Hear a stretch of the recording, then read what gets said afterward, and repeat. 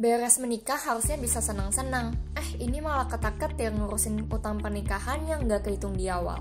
Semoga gak ada yang kejadian kayak gini ya di antara sobat finansialku.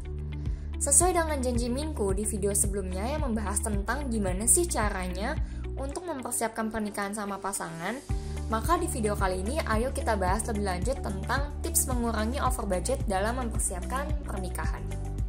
Sobat finansialku di usia-usia menginjak pernikahan, ini banyak banget teman-teman Minku yang cerita tentang pernikahannya. Mulai dari yang dapat cuan gara-gara nikah, sampai yang tiba-tiba punya utang besar gara-gara nikah. Gak heran sih tiba-tiba utang, soalnya emang ada aja WO-WO yang habis nikah, ngasih bon yang ternyata sebenarnya kurang penting. Tapi gak menutup kemungkinan juga dalam menyiapkan pernikahan, ada pengeluaran tak terduga yang akhirnya bikin budget membengkak. Biar kalian semua nggak ngerasain utang setelah menikah, Minku udah kumpulin nih 5 tips yang siap dibagikan buat kamu yang berencana untuk menikah. Yang pertama, tentukan prioritas. Dalam melaksanakan acara pernikahan, setiap orang pasti ingin menggunakan yang terbaik. Tapi terkadang ada keterbatasan dana.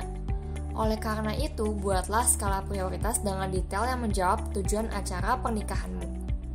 Misal, tujuan kamu mengadakan pesta adalah untuk membuat semua orang pulang dengan senang karena makanannya enak. Maka kamu bisa alokasikan budget lebih untuk makanan sebagai salah satu prioritas utama kamu. Yang kedua, efektifkan jumlah tamu undangan.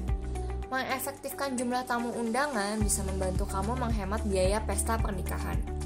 Karena umumnya harga catering makanan dan souvenir pernikahan dihitung berdasarkan jumlah tamu yang diundang. Selain itu, dengan jumlah tamu yang efektif, kamu juga bisa menghemat biaya gedung pernikahan. Nah, yang ketiga, gunakan undangan digital. Salah satu hal lainnya yang cukup menguras budget pernikahan adalah undangan yang dicetak. Kabar baiknya, kamu bisa loh pakai undangan digital.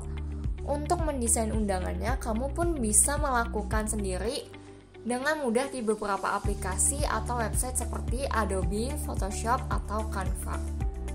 Nah, yang keempat, kamu bisa minta bantuan teman atau keluarga untuk mempersiapkan atau mengisi acara. Kalau ada budget lebih, kamu bisa mempertimbangkan untuk menggunakan wedding organizer di acara pernikahan kamu.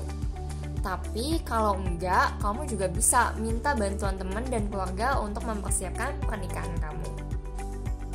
Nah, yang kelima atau yang terakhir adalah pilih waktu pernikahan. Untuk menghemat budget pernikahan, kamu bisa mempertimbangkan untuk mengadakan acara pernikahan di hari biasa, Senin sampai Jumat, karena biasanya harga gedung dan catering pernikahan cenderung lebih murah dibandingkan dengan hari Sabtu, Minggu, atau hari libur. Bonus tips dari Minku buat kamu yang pakai jasa wedding organizer atau wedding planner, pastiin semua pengeluaran kamu di awal. Jangan sampai ada bon ketinggalan setelah pesta pernikahan di akhir dan gak usah malu-malu dan ragu-ragu buat stick to the budget. Gak semua orang harus kamu undang, gak perlu bikin pesta yang memaksakan kantong. Buatlah pesta yang jujur sesuai dengan kemampuanmu. Semangat ya para pejuang pernikahan, yuk kita pasti bisa. Dengan memperhatikan 5 poin tadi, kamu bisa banget menekan kemungkinan over budget acara pernikahan. Dan kalau kamu butuh bantuan lebih lanjut, kamu juga bisa hubungin financial planner finansialku untuk konsultasi lebih lanjut. Isi form di kolom deskripsi buat konsultasi lebih lanjut biar acara pernikahanmu lancar tapi dompet tetap aman.